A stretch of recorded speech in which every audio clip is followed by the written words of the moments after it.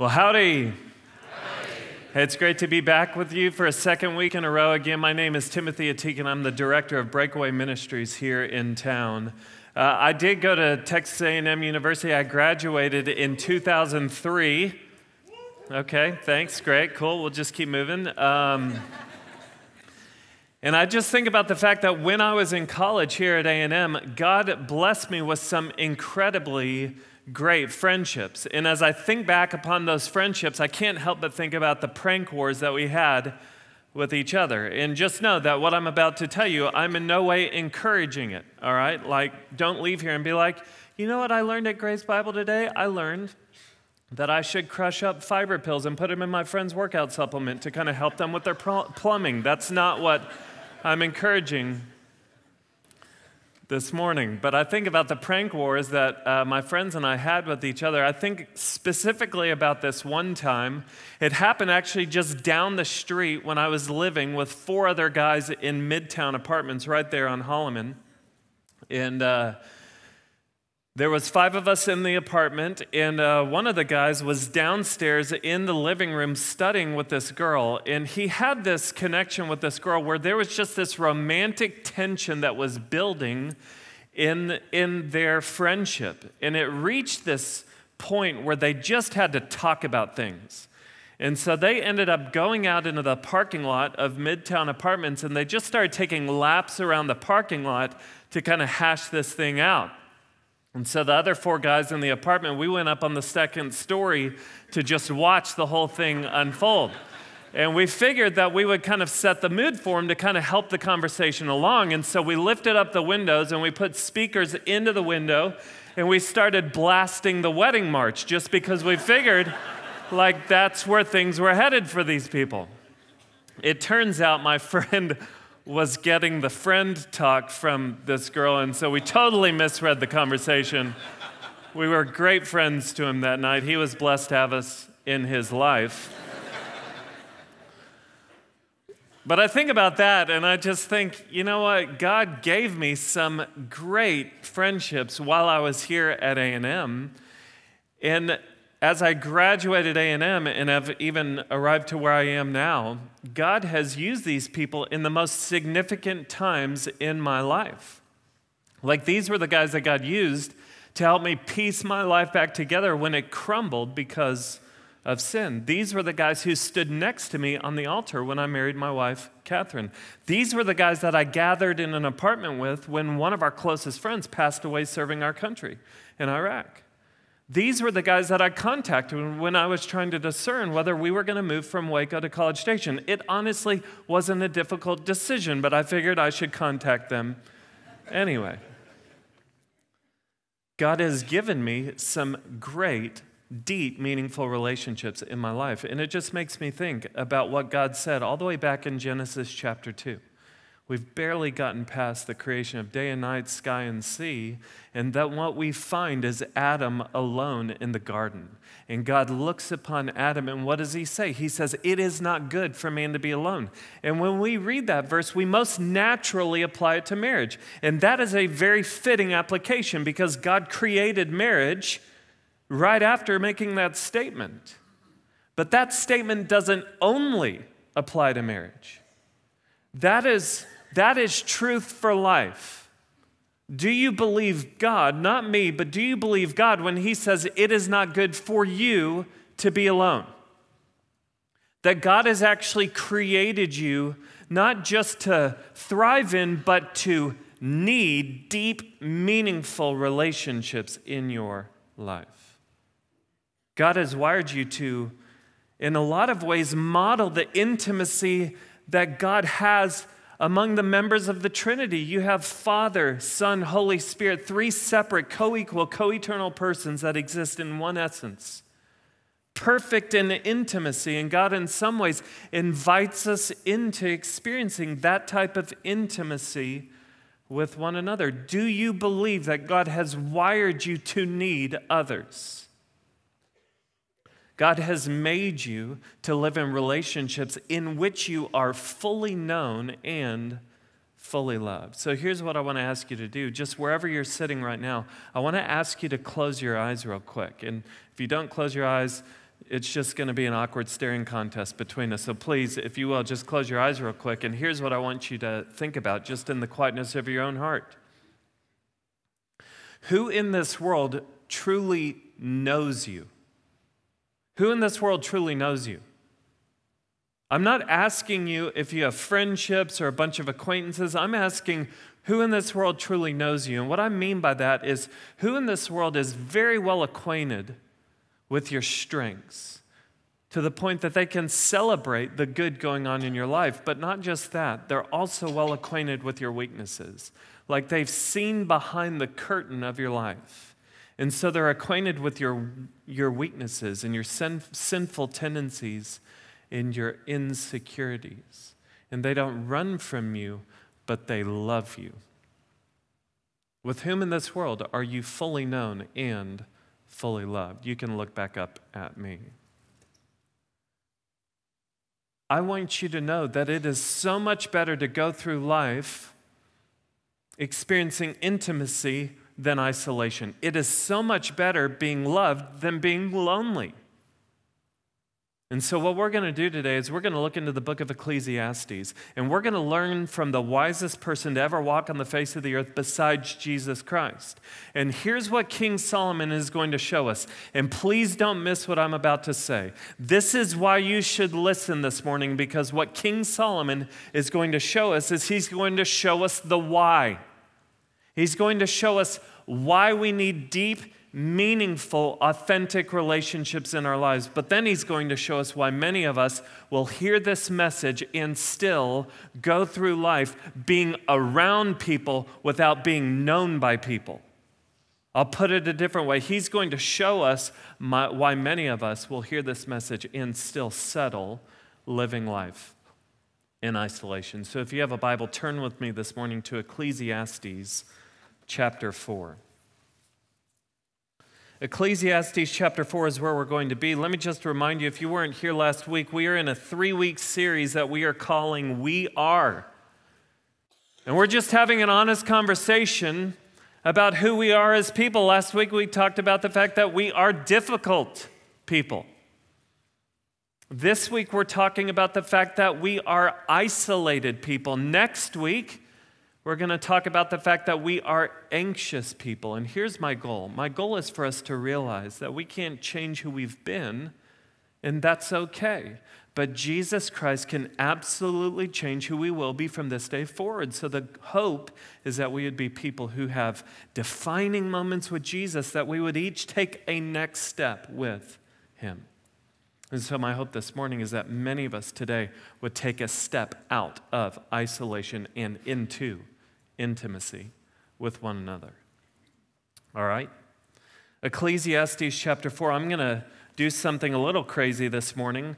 I'm not going to teach the text in order. What I'm going to do is I'm, I'm going to jump straight to the climax of the passage. And the climax of the passage is going to show us the why. It's going to show us why we need deep, meaningful relationships in our lives. And then we're going to zoom out, look at the surrounding verses, and it, they are going to show us why many of us will still settle for isolation. So look at what King Solomon says, starting in verse 9. He says this Two are better than one because they have a good reward for their toil. For if they fall, one will lift up his fellow. But woe to him who is alone when he falls and has not another to lift him up. Again, if two lie together, they keep warm. But how can one keep warm alone? And though a man might prevail against one who is alone, two will withstand him. A threefold cord is not quickly broken. And so Solomon kind of gives us his thesis, and it's this two are better than one. And that's that that hopefully doesn't take a lot of explanation. He's just saying two can accomplish more together than one person can do all by himself. And so what Solomon does is he kind of paints a picture of someone on a journey through life. And what he says is, man, if you're on a journey and you fall into a pit, I don't know when that would happen to you, but if it does, it sure is nice if you have someone else there who can help you out of the pit. He says, Man, if you're on a journey and it's freezing cold at night, man, it sure is nice to have someone to cuddle up with and so that you're not shivering alone. You know what this means? It means that cuddling is biblical. just kidding, all right? Let me just have a conversation with the single men in here. Do not let, I know it's going to get cold this week. Don't let me find you walking around campus saying, man, I'm just looking for a woman to apply the word of God with, all right? not going to work. He's just saying, man, if, if life gets cold, it's great to have someone there who can help keep you warm. He says, if you're on a journey and you get jumped, it's really nice if someone is there who has your back. And then he finishes this one little portion by saying, a cord of three, a threefold cord is not quickly broken. That is him kind of putting an exclamation on his point. He's saying, two are better than one, two are better than one, two are better than one. You know what's better than two? Three. He's trying to make this point that living life in deep, meaningful relationships is far better than living life alone. And so let me just walk you back through these verses and kind of paint a picture of the life that God has created us for. Again, Solomon starts by saying two are better than one. Two are better than one. Why? Because they have a good reward for their toil. They can accomplish more, they can get more done. Let's apply this to our spiritual lives. If Solomon is right, if Solomon is right, if you truly want to get somewhere with God, if you want to experience great amounts of traction in your pursuit of Jesus Christ, then it is essential that you do not try and go about the Christian life on your own. You are going to need people running alongside you, encouraging you along the way. It helps me, I, I can't help but think about uh, when I was in high school, I ran cross country and track. And uh, the cross country race was a, it was a 5K, it was 3.1 miles by far, hands down, without a doubt, the worst place you could find yourself in in a cross country race would be about a mile and a half into the race, running completely by yourself. The way that a race would go is the first mile was all about adrenaline. So the gun would go off, and about 300 high school guys would take off from the starting line, and you'd be surrounded by people, and you just kind of get caught up in the flow of the race. But by mile two, the race would begin to spread out in these huge fields. And so, if you're not careful, you might find yourself all alone. And I would call it running in no man's land. Because the person in front of you would be too far in front of you to catch them, and the person behind you would be too far behind you to slow down and wait for them. And so, what ends up happening is you stop looking ahead and you start looking at the ground. You don't stop running, but you definitely stop racing, and your pace slows down significantly. And all you can do is think. And so you start having thoughts like, why did I choose cross country in the first place? like I did this by choice. And you have a side cramp, and all you can feel is the pain and the struggle. You know what the best thing is that could happen to you in that moment? The best thing that could happen to you is that without realizing it, you've slowed down so much that one of your teammates catches up to you, practically blows past you, and says, Let's go. And when that happens, you know what, you know what goes on? You start to look up again. You begin to race again. You begin to get traction. See, if you want to go somewhere spiritually, let me just ask you this. If you were just honest with yourself, are you where you want to be spiritually right now? Are you where you want to be? I would imagine that a good majority of people in here would probably say no. I would love to experience more growth. I'd rather be filled with more passion than I have right now. I would love to have more heartfelt knowledge about the Word of God. If that's you, let me just tell you, you're going to need a couple guys or a couple women in your life to run this race with. And man, we live in a time where it is easier than ever to encourage one another to pursue the Lord. There are, there are apps now where you and a couple of friends can all log in together and you can see what each other is reading. Y'all can read the same things, leave notes for each other, leave notes of what you've read, and you guys can journey through the scriptures together while you're not even in the same place physically. How great would it be if you and a couple of guys or girls just committed to memorizing the same verse each week, memorize one verse a week, and quiz each other on it during the week? Challenge each other to share your faith once this week, and then share stories about it together. If you want to go somewhere spiritually, I promise you, you're going to need some people who are committed to racing with you because God uses his people to challenge and encourage his people. Solomon goes on. And he says, For if they fall, one will lift up his fellow, but woe to him who is alone when he falls and has not another to lift him up. A good question for us to ask is how do you bounce back from the times in life where you fall? It's not a matter of if you will fall into sin, it's a matter of when you do. Do you have the right people in your life to lift you up? How do you bounce back from, from being overly harsh with your children? How do you bounce back from a few days or a, or a week or a month of just not being that great of a spouse? How do you bounce back from poor decisions over the weekend? How do you bounce back from compromising decisions at work or in school? How do you bounce back from these moments in which you fall? See, the reality is this when Jesus Christ went to the cross, he went to the cross for all of our sins. And when Jesus Christ rose from the dead, his resurrection was a demonstration that God the Father accepted his payment for all of your sins. So, what that means is that God's grace is sufficient today to cover over any failure in your life. God's love, His mercy, is capable of lifting you up today and allowing you to echo the words of Paul, where you say, forgetting what is behind, but straining towards what is ahead. I press on toward the goal to win the prize.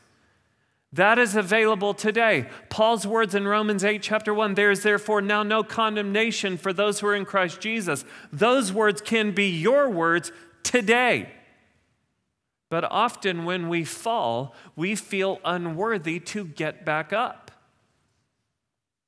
And so we, we end up drowning in guilt, shame, and regret.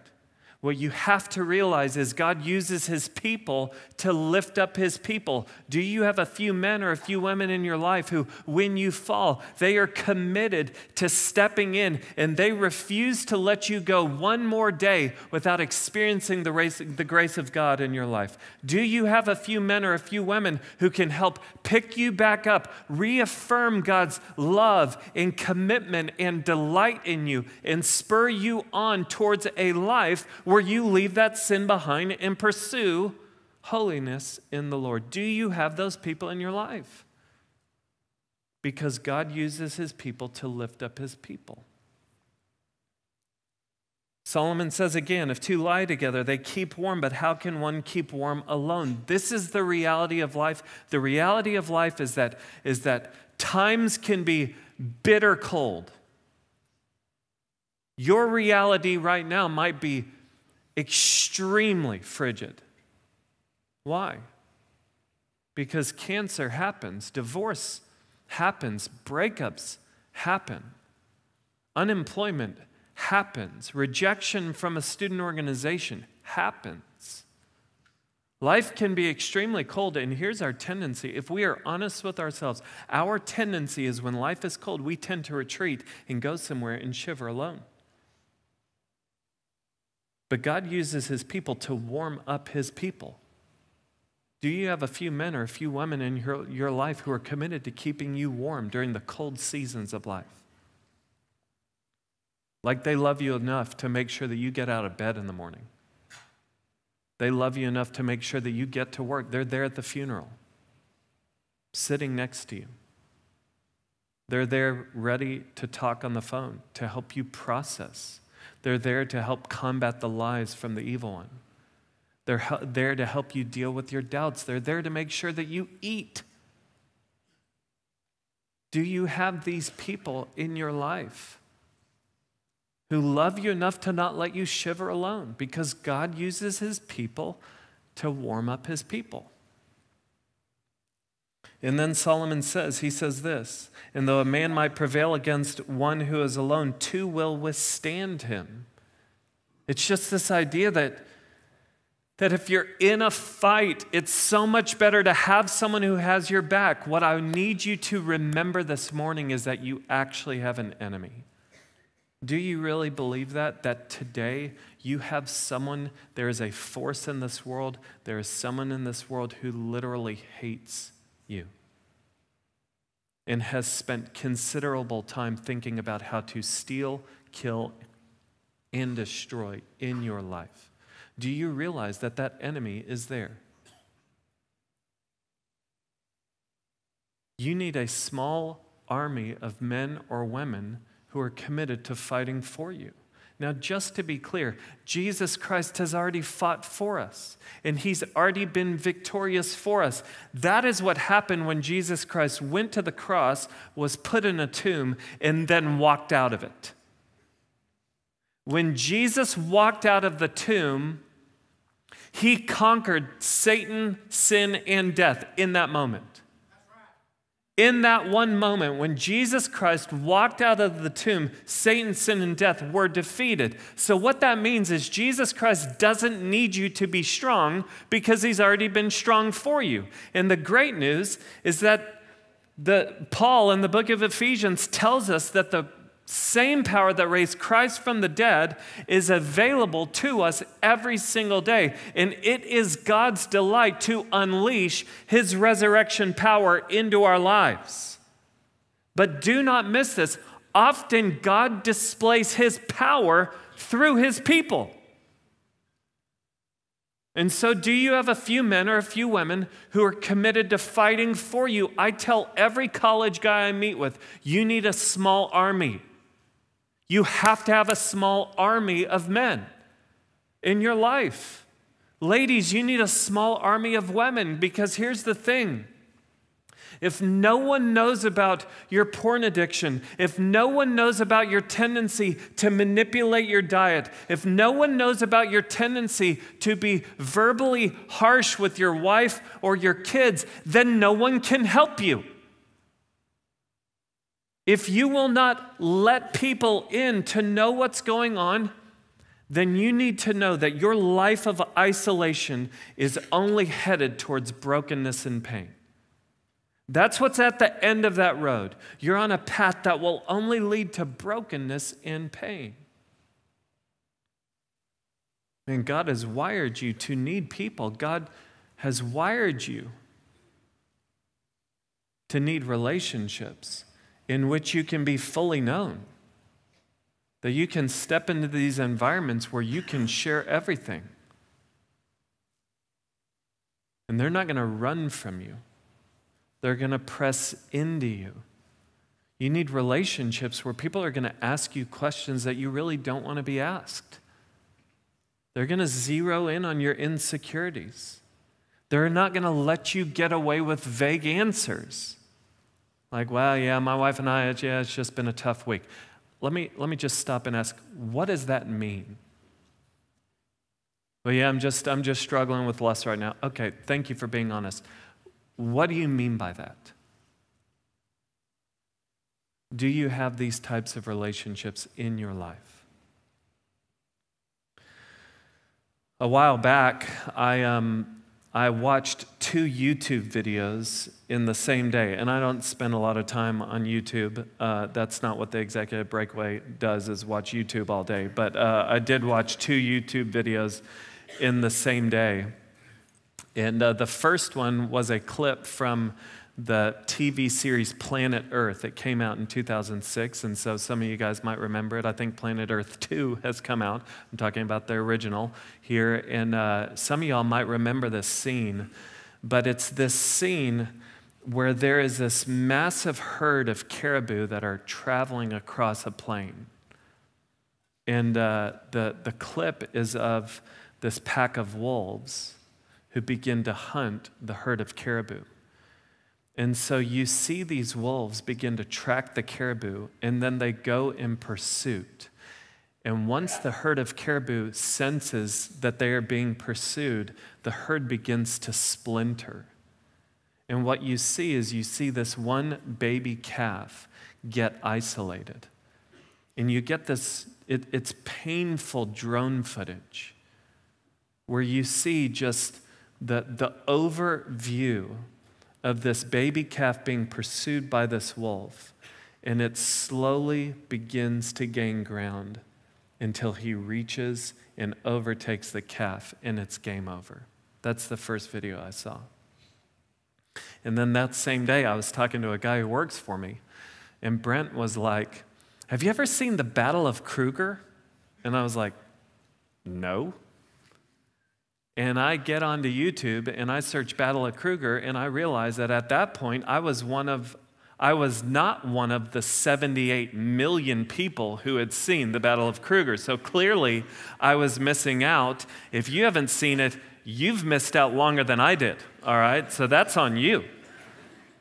It's an eight minute video. We're going to watch the whole thing. Not really, not right now, okay? I encourage you to go watch it, but I'm going to show you like a 40 second clip, which is going to bring it all together. Before I show it, let me just catch you up on what's going on. Uh, in my time of studying up on um, water buffalo and lions, which has not been an extensive study, but I have realized that there is massive drama between these two animals, all right? And so what you're going to see is you're going to see a herd of water buffalo come up upon a pride of lions. And this pride of lions is going to attack the herd of water buffalo, and they are going to isolate a calf. And it is going to seem as if it is game over for this baby calf. But watch what happens. Oh my God. Can we grab the baby? Oh my God. I'll grab the baby. She's going for him. She's going for him. She caught him. No, they're gonna come and try and chase the lion, but I think they're too late. I think you're right. They're way too late now. Whoa. Swami on it. He's And that one's. Ooh. Big morning. Calf's still alive. It is? Yeah, it's trying to get away. It's standing up. It is, it's still alive. Oh, is it? Oh, and going to the middle of the water. It's standing up. It's standing up. It's run away. No, they've got He's us back. gone. Isn't that awesome? Man, doesn't it get you pumped up for the Battle of Kruger you're going to be watching later on today? Good family devotional time right there. But I watched that video, I can't help but think of 1 Peter 5 8, which says, Be sober minded, be watchful. Your adversary, the devil, prowls around like a roaring lion seeking someone to devour. So the good question for you this morning is Do you have water buffalo in your life who have your back? Isn't that awesome how this calf gets overtaken? And then here comes this herd just slowly creeping up, and they're like, No, sir, not today. Not today. Do you have those men or women in your life who have your back? Who love you enough to fight for you? Because remember, often God displays his power through his people. This is the life that God has created you for. God uses his people to challenge and encourage his people. God uses his people to lift up his people. God uses his people to warm his people. God displays his power through his people. So, why would you go through life surrounded by people but being known by no people? Why would you go through life? experiencing isolation instead of intimacy? Why would you go through life lonely instead of being loved? God has created you for more. That's the vision, that's the why. Now, let's turn the corner and let me show you why many of you will hear this talk and still settle for isolation in your life.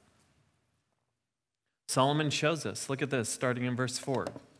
He says this He says, Then I saw that all toil and all skill in work come from a man's envy of his neighbor. This also is vanity and a striving after wind. That word envy, it carries the idea of competition. You want to know why you will settle for isolation? It's because competition will kill closeness in your life. It will. Competition will kill closeness in your life. Pastor Andy Stanley talked about our need to have the er factor in our lives. We need to know that we are stronger, better, prettier, funnier, wealthier, godlier, successful er than the people around us in our lives. We need other people around us to be nobodies so that we can feel like somebodies.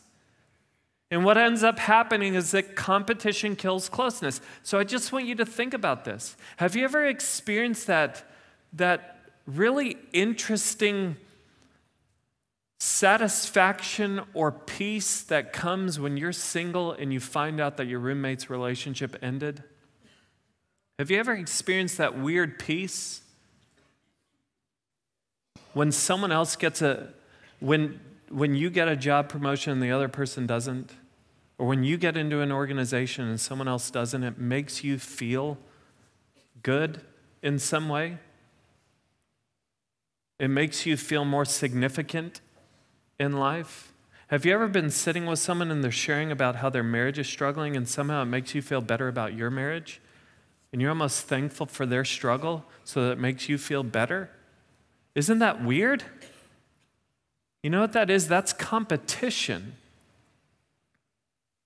Competition will keep you from intimacy with others because it is hard to be close to someone when you will celebrate their weaknesses and resent their strengths.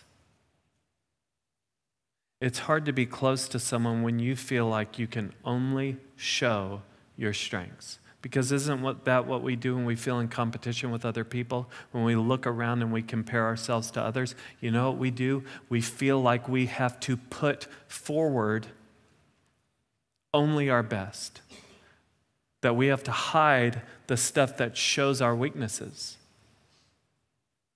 And so we will only let people see a manufactured version of ourselves. There can be no intimacy there. First reason we will settle for intimacy is competition. Next, verse, verse 5. Solomon says, The fool folds his hands and eats his own flesh. That's a pretty picture this morning. Welcome to church. Jesus loves you. Let's talk about a guy eating his flesh. But Solomon pictures a guy who's folding his hands. When do you fold your hands? Well, it's when you're sitting on the couch or laying in your bed watching a show. And so he pictures a guy doing nothing. He's painting the picture of a lazy and apathetic man. He does nothing. He has nothing. He has no drive. He has no ambition. He has no goals in life. And because he does nothing, he has nothing. And because he has nothing, he begins to turn in on himself and begins to eat his own flesh. Now, clearly, Solomon is exaggerating here, but he's showing something very important. Laziness and apathy in relationship will keep you from intimacy. It will. Do you know anyone like that? No drive, no ambition, no follow through, no faithfulness, no commitment to seeing something through, no initiative. Maybe you don't know that person because you are that person. Let me just tell you.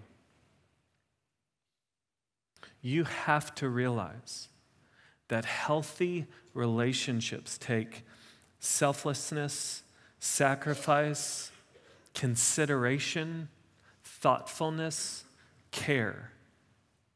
And all of those things take intentionality. Apathy is the enemy of intentionality.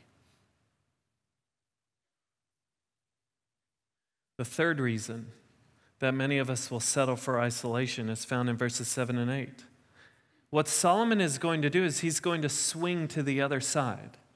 He just painted the picture of a guy who has nothing because he does nothing, extremely lazy and apathetic. Now he goes to the exact opposite end of the spectrum. He says this again I saw a vanity under the sun, one person who has no other. You see the isolation there. He has no other. Why?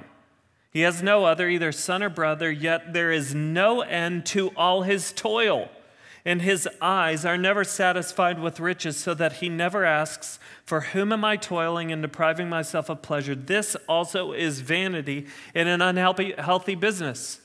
An unhappy business. He swings to the opposite end of the spectrum and he paints the picture of a guy who is in this insatiable pursuit of wealth and success.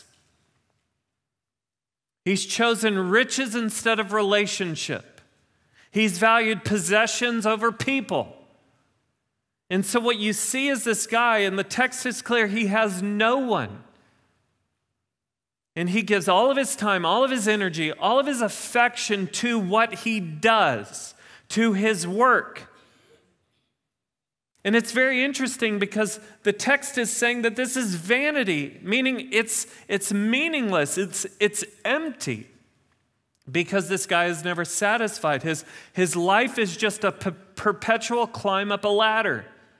When he reaches the top of one ladder, it actually is the bottom of another ladder. So at some point, this guy is going to die climbing a ladder to experience some wealth or success. Let me just say this God has wired some people in this room to be extremely high capacity. God has given some people in here minds that comprehend things and function in a way that few people's minds function. And I praise God for how He has wired you and gifted you. Be extremely good at what you do. Work at it with all your heart, but do not value possessions over people. Do not choose riches over relationship because in the end it will not be worth it. And you will find yourself on your deathbed looking at all your stuff alone. And in that moment, you'll realize you can't take a lick of it with you. It will not be worth it.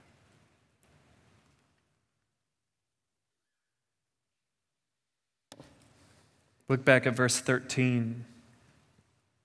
Solomon tells a story that's very complicated. Commentators go different ways with it. I just want to point one thing out about this story. Solomon says, Better was a poor and wise youth than an old and foolish king who no longer knew how to take advice. For he went from prison to the throne Though in his own kingdom he had been born poor, I saw all the living who move about under the sun, along with that youth who was to stand in the king's place. There was no end of all the people, all of whom he led. Yet those who come later will not rejoice in him. Surely this also is vanity and a striving after the wind. The most important part of that story to me is that we find a king who no, no longer knew how to take advice. It's interesting, the older you get, the more you feel like you know. And the more you feel like you know, the less you feel like you need when it comes to advice and wise counsel. And this creates a, a great disconnect when it comes to intimacy and relationships. It is very hard to be near someone who cannot take advice. It's really hard to invest in someone who believes that they're always right and never wrong. It's very hard to get close to someone who is always defensive, who always has a reason for why they do what they do. It is very hard to be around someone who, anytime you start speaking wisdom into their lives, they begin to zone out or look away and say, Yeah, I already know that. Can you take advice? This is something I constantly have to work on. The attribute of being teachable. It's something I constantly have to work on. And I am by no means perfect. But can you accept the counsel of others? Do people, do not everyone, but do a few key people have the freedom to speak straight into your life. If not, I promise you will settle for isolation. See, competition, laziness, apathy, an insatiable desire for wealth and success, and an inability to take advice will keep you from intimate relationships. God has wired you to go through life experiencing deep, meaningful relationships with one another. Being loved is so much better than being lonely. Intimacy is so much better than isolation. This is what we've been made for. But it has to start with you coming to a realization where you can agree with King Solomon.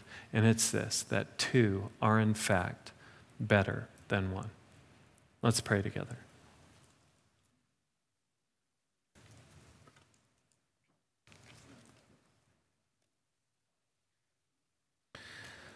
And I just want to invite you, just in the quietness of your own heart, right here, before we leave and go out of this place, I just want to ask you to, to come back to the question that we started with Who in this world truly knows you? With whom in this world are you fully known and fully loved?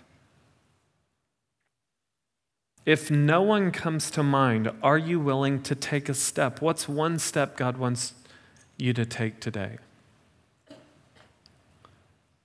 Maybe before you leave this place, you need to commit right now just to sending a text to someone and saying, hey, we need to talk. Or maybe you need to grab someone in the lobby and just say, man, I want what King Solomon was talking about.